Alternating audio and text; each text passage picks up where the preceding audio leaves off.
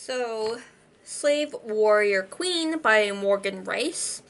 And by the looks of the previous writings of her, of Morgan, she has written a lot, so there is likely going to be a lot of different perspectives of her books, and likely this one as well.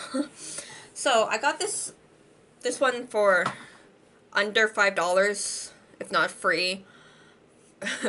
BookBubs. BookBud. BookBub.com. Check it out if you haven't already. It's fantastic.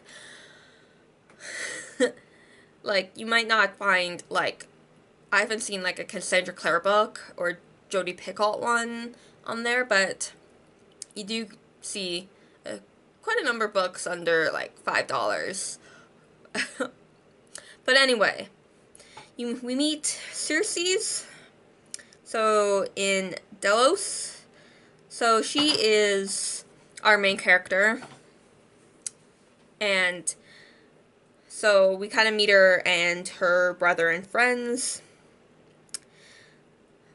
at the Festival of the Killings. So that's kind of, in my take, it's, like for me, in my take, it's more like, almost like, um, gladiators. So, you don't want to like I don't know if she out wants outright wants to call it gladiators, but it's called the Festival of the Killings.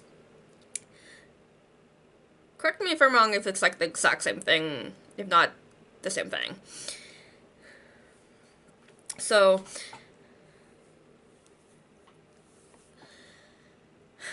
a lot happens to this girl. Like she has a good relationship with her father.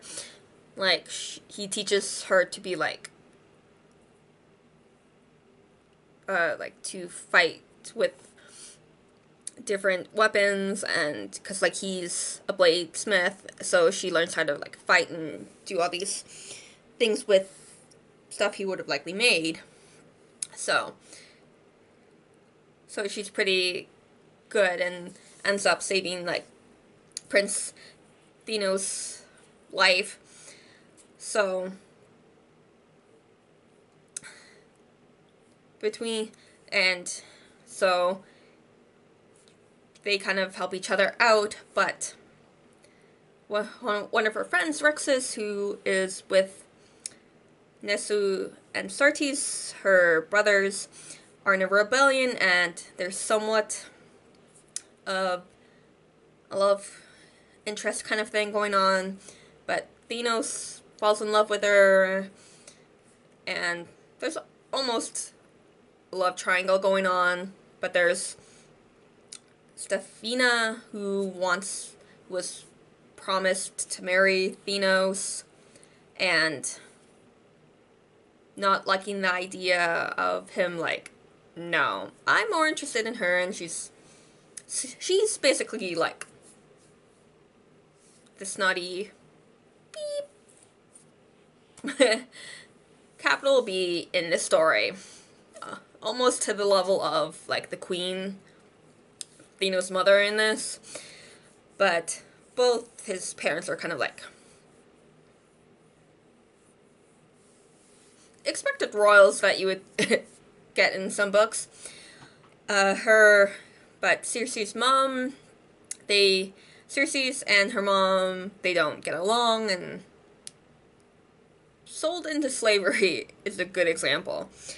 But this starts her journey through, like, fully meaning and her adventure into, like, the revolution I'm seeing the side of like the king and like the emperor and like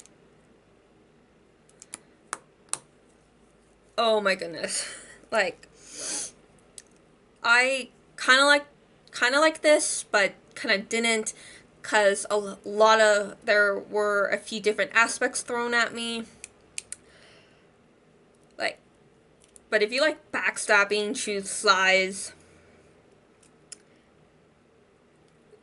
you got you got it in this book. you got uh, Co- Cosmas, who Thanos like has like a father son a good father son relationship with. He's kind of like truth-sayer almost in this book.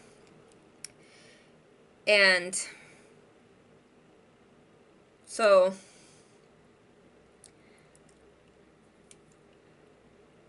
like a few different things happen in this book and I'm having a hard, like almost a hard time processing this, but it's almost like to me like this is the first book in I don't know if it's like a trilogy, but I think there's at least three books in this series. And yeah, you got a lot of twists and turns in this one. And to me, this one's almost like Les Mis esque kind of happenings going on. Like, it's definitely not like Romeo and Juliet, it's more on the Les Mis kind of spectrum.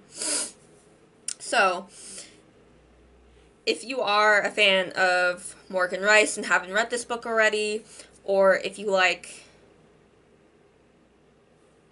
almost Rome, Greek kind of storytelling, it is a young adult YA novel. So there, so if you're just a fan of like YA, uh, it is a fantasy kind of book.